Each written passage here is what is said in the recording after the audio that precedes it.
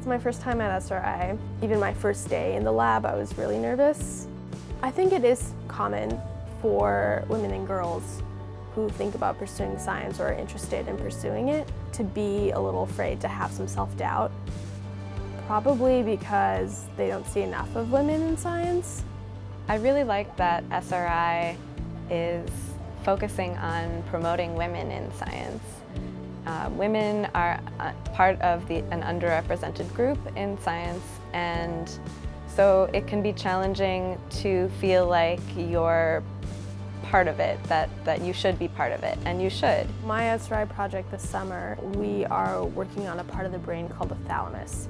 This specific part of the thalamus that we're studying is associated with touch.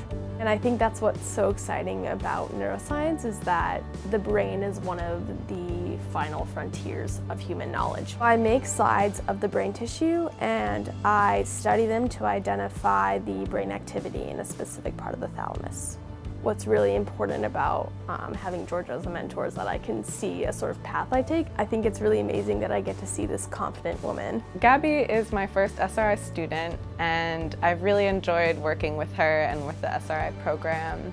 By working in the lab, I want her to learn that science is a messy thing. What we're doing has never been done before, so it will go wrong fairly frequently and I want Gabby to become persistent and resilient in following her curiosity.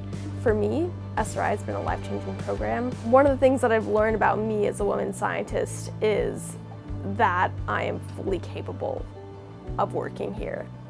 Being brave enough to go ahead and do it has made a really big difference.